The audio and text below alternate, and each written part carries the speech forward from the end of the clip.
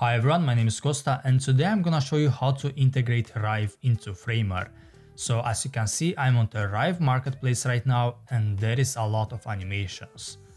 Personally, I really like this one, so I'm gonna click on it and on my right side it says Remix. So I will click on Remix. Right now it says Remix again because I already did it before, so I will click on Remix again. Now if we want to, we can edit this animation, but I'm gonna click on export and there is two options that you can export. The first one is free and the second one is paid.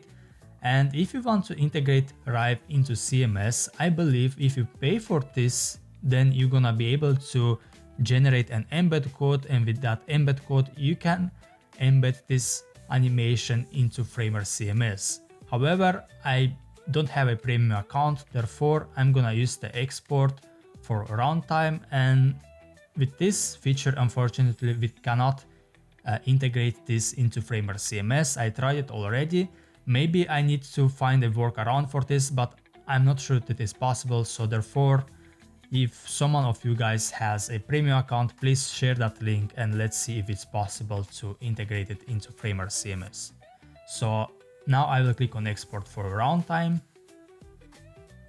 and it's gonna download a file for me. Go to Framer, press Ctrl K and look up for Rive. We have this plugin right here and now we have to drag and drop the file that we just downloaded. So I will put it in here and voila let's make this bigger maybe 100% so that it covers the entire breakpoint.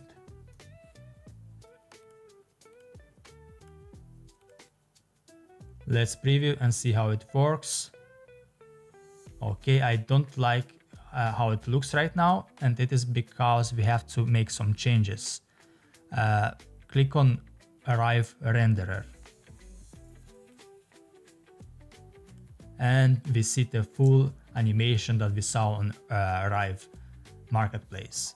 So yeah guys, that is it. Thank you so much for watching this video. See you next time.